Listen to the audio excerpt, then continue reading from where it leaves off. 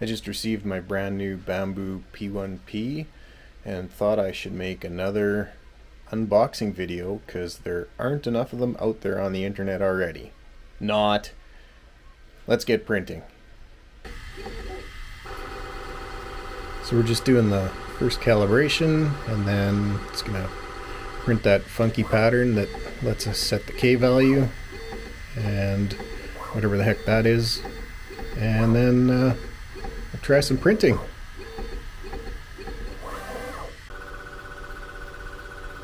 Good old Ender 3. This baby's five years old, maybe a little more. We'll still get some use out of you. Well, here's the K value printing. Let's see if we can get a look from up top.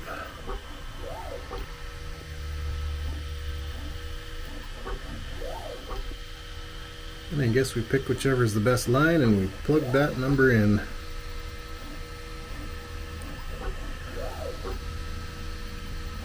Cool. Yeah, so this thing just started printing and this is my first print and I turned it up to sport. Uh, I'm not going to go ludicrous, but sport, holy hell. It was, uh, yeah, it's pretty amazing after watching good old uh, Ender 3 here at its 50, 60 millimeters a second. Thought I was cool getting it up to 80 at a lot of times, but uh, yeah, yeah, this is insane. A few moments later.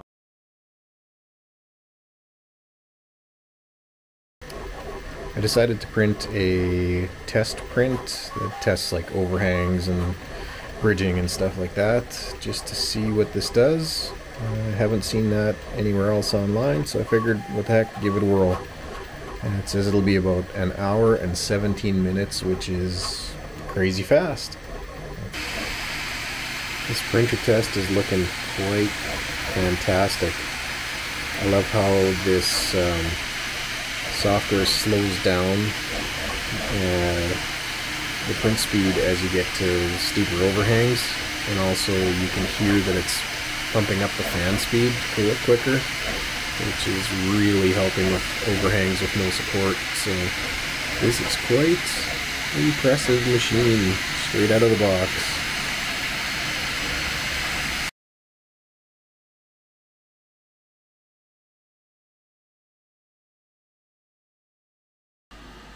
All done and you know what the first thing I'm going to print after this is? A spool holder for the side because that spool holder in the back sucks. Other than that, love the rest of it. Let's take a look at what this looks like.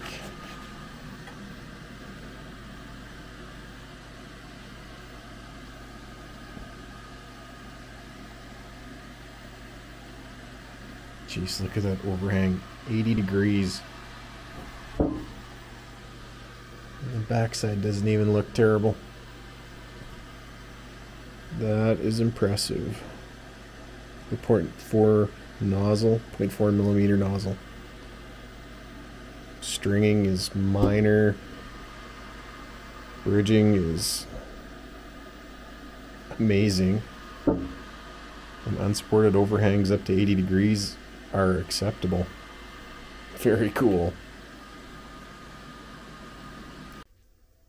Next, I'm going to try a clearance and tolerance test I found on printables.com, uh, made by 3D Maker Noob, I believe.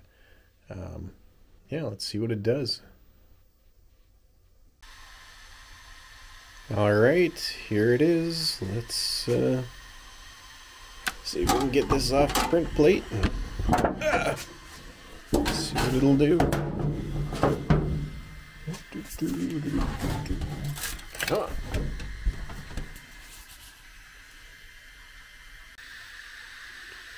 Okay, so I got it off the build plate and I kind of did something stupid.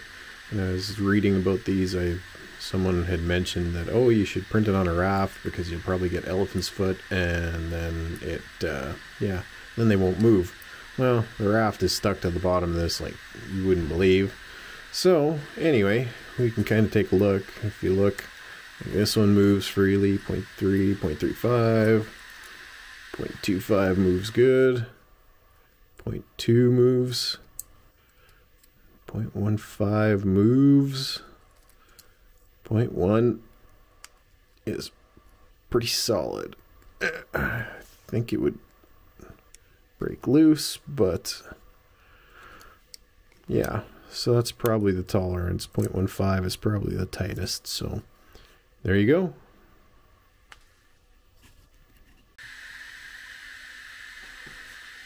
Yeah, so I wasn't too happy about messing up with that graft under the last one, so I reprinted it.